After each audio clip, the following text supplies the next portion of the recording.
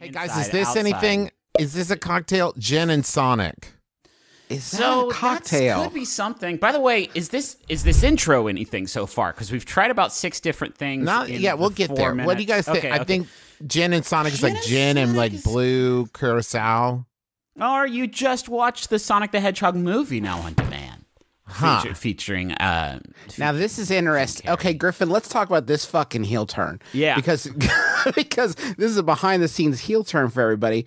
We told Griffin we should do a Sonic watch about the release of Sonic. Right. He quickly poo pooed it. And now Griffin has taken us down some back roads and removed the blindfolds to sh- find that we are at Sonic's house. And he has driven us there. It- to continue Justin's metaphor, not only did you drive us to Sonic's house, but it was Yeah. like I said, like Sonic's having a birthday party, let's go. And you said, I don't want to go to Sonic's birthday party. And I said, okay, so I didn't buy him a present. And then Yeah. I get out of the car and you're like, we're at Sonic's birthday party, and I brought a present. And now Justin yeah. and I look like fucking assholes because we didn't bring any presents for Sonic, and you brought the present.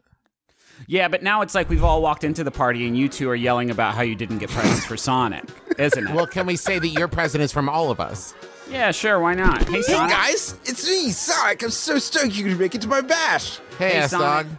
Uh, it's good to be out. I'm glad that we broke the quarantine protocols for this Sonic the Hedgehog's birthday party. Definitely worth it. Definitely worth it. Uh, big fine coming our way, but we did get you, all three of us, this present together. Um, it was made at home with a lot of love.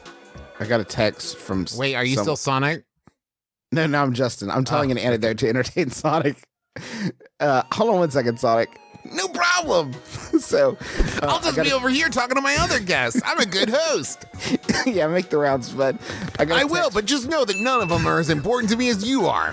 thanks, man. That's The fact what- that, you, I mean, Mario's here, but fuck that guy, right? Like, you guys are my true BFF. By the way, this is the best intro you guys have ever done because you're speeding through the topics so fast without even paying attention to them or trying to flesh them out, just like I run through the city.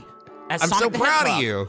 I'm proud of you because you're not make, you're not focusing on any one thing for like more than thir 25 seconds. It was almost like we were in the middle of a bit and a skit right there, and Justin just like fucking saw a butterfly float by and lost interest in it. That's cool. As a reward for your good comedy, I'm going to run around and scoop up all the coronavirus to protect you. you didn't want to come to Sonic's house in the first if place. I run around the Griffin. co- if I run around the world real fast, it'll create a vortex. It's gonna suck up all the coronavirus. I've had the ability to do it this whole time. But I held it back because you guys weren't doing a good enough intro yet. But look at you now. Like shining stars. I'm so proud of you. Watch as I zoom around and cure the world. Griffin, you came here under duress.